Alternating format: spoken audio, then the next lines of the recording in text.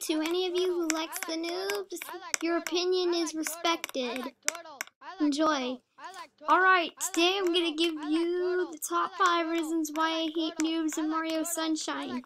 Reason number one is that um when they're when when um when they're noob like they pretend to have FLUDD and and then and then they have they put items on like that over here and then and then they have no FLUDD, no FLUDD, and then they pretend to be cool and stuff yeah they pretend to be cool um top two reasons why I hate noobs is that they're um they're really really really annoying um they'll do this they'll have the they'll have the they'll have the next level and then and then they'll get and then they'll get in the and then they'll get in the level and then they'll go inside the level and that's really annoying. Um when I first played the noobs they think that I'm a pro and that's really annoying.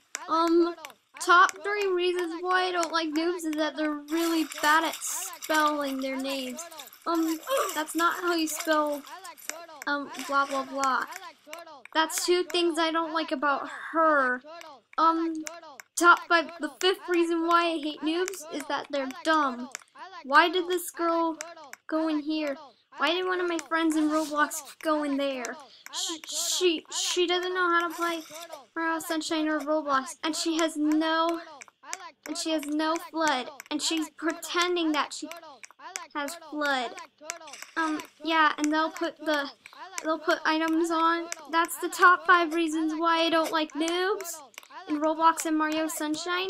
Subscribe if you if you like noobs. Your opinion is respected.